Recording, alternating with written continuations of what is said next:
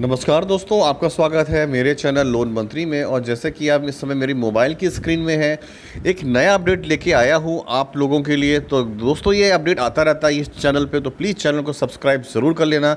नीचे दिए लाल बटन को दबा दो यार, इसमें सिर्फ़ दो मिनट लगता है। तो दोस्तों, जैसा कि आप देख रहे हैं, मेरी मोबाइल स्क्रीन में एक हेडलाइन है, अमर उजाला न्यूज़पेपर, जो काफ़ी बड़ा न्यूज़पेपर है और काफ़ी पुराना न्यूज़पेपर है। उन्होंने इसमें दिया है कि रघु राम राजन, यानी जो पूर्व हमारे गवर्नर थे आरबीआई के, उन्होंने दिया है कि आगामी छः महीने तक विकराल हो सकती है एनपीए की समस्या। यानी आगे वाले वाले छः टाइम में कोविड की वजह से जो एनपीए हैं, उनकी संख्या बहुत ज़्यादा बढ़ सकती है।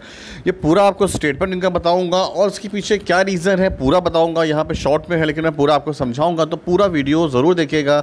बिल्कुल भी स्किप मत करिए, क्योंकि बहुत काम का होने वाला है। तो दोस्तों, नीचे देखिए, लिखा भारतीय रिज़र्व बैंक के पूर्व गवर्नर रघुराम राजन ने कहा कि अगले छः महीने बैंकों में फंसे कर्ज, यानी एनपीए में उल्लेखनीय बढ़ोतरी हो सकती है, यानी एनपीए बहुत ज़्यादा बढ़ सकते हैं। और उन्होंने यह कहा गया, इस समस्या को जल्द, जितना जल्दी पहचान लिया जाए, उतना अच्छा होगा।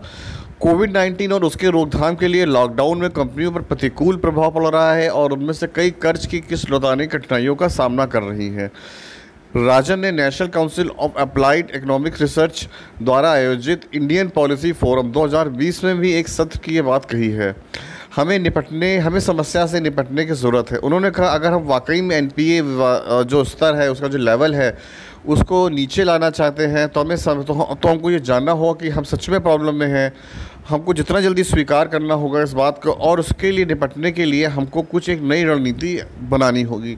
अब गाइस से बता देता हूँ बीच में ये हुआ क्या था? जैसा कि मैंने दो दिन पहले आपको अपडेट दिया था कि एसबीआई के जो चीफ थे रजनीश कुमार उन्होंने भी ये बोला था और इसके पहले अभी जो मौजूदा हमारे आरबीआई गवर्नर हैं दोनों समय लोन मोरिटोरियम को लेके विपक्ष में है। उन्होंने बोला था कि भाई मोरिटोरियम नहीं देना चाहिए।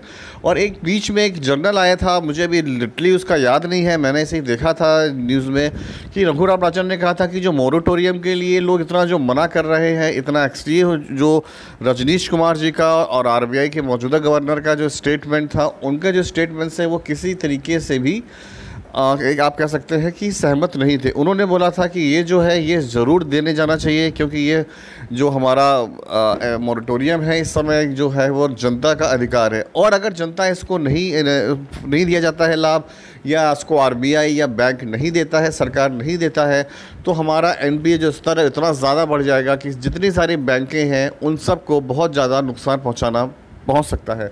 तो गाइस इसी को देखते हुए ये हमारे जो गवर्नर हैं, रघुराम राजन, उन्होंने ये पूरा स्टेटमेंट दिया है। तो छोटा सा अपडेट था। गाइस सोचा, आपको दे दूँ तो इनके एक, हालाँकि अभी हमारे मौजूदा गवर्नर नहीं है, लेकिन फिर भी काफ़ी इनका नाम है।